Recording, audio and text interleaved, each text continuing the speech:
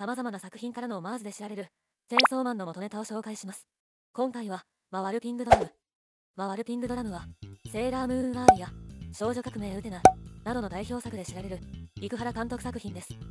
シリアスかつ難解になっていくストーリーや、斬新なアニメ表現が有名で、チェーンソーマンにも随所に影響が伺えます。それでは、具体的に共通点を見ていきましょう。ピングドラムは家族や愛の循環をテーマにした作品です。チェンソーマンにも同じことが言えますよね。チェンソーマンのこの取り合いは、ピングドラム高倉家の兄弟にとって思い出の場所である水族館での記念写真のパロディと思われます。あってすらいない幼少の頃から兄弟であったかのようなイラストとなっていて、その後の展開を考えると、とても悲しい記念写真となっていますね。ピンクドラムの影響は連載当初から指摘されていましたが、このイラストによって決定づけられたと言えるでしょう。着物のレゼが巨大な換気扇の前で手を後ろに回して立っているカラーイラストレゼはオムこと爆弾の武器人間と思われるので原子力マークとかけているとも考えられますがピングドラムの影響を考えると同じように巨大な換気扇の前に佇む決まりのイラストを連想させます。これは子供ブロイヤー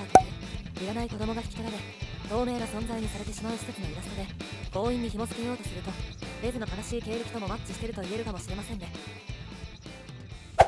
入院したレンジにアキがリンゴを差し入れするシーン一見すると何の変哲もないシーンですがピンクドラムの影響を考えると見え方が変わってきます。ピンクドラムではリンゴが非常に重要な役割を担っていてテーマである愛の循環を具現化するメタファーとして劇中でたびたび登場します。兄弟同士でリンゴつまり愛を分け合うことで愛の循環がなされていっているんですね。そう考えると今度はアキが入院した時のレンジの行動もより家族として愛が深まっているのを感じさせます。続いては箱の中の心理描写ピンクドラムの重要なシーンで箱の中でカンマとショーマがリンゴを分け合う心理描写があります。チェーンソーマンでもポツタやパワーといった家族と対話したり力を授けるシーンは箱の中で行われていますね。両作ともショッキングな展開の中で愛や罰幸いについて考えさせられる名作ですね。